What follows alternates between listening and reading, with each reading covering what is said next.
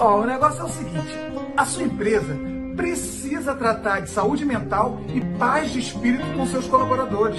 Não dá mais para um funcionário dizer que ouviu falar de uma tal de síndrome de burnout. Não! Ele precisa saber do que se trata e tratar. Só assim para melhorar as performances e a qualidade de vida no trabalho. Simbora falar sobre isso? Mas como abordar esse assunto de maneira leve, dinâmica e até lúdica?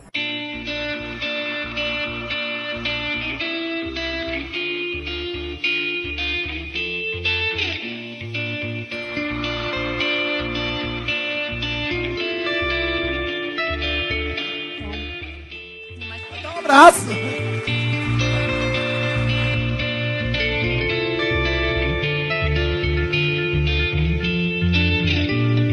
Ah, toda vez que a gente vem aqui, a gente sente uma calma.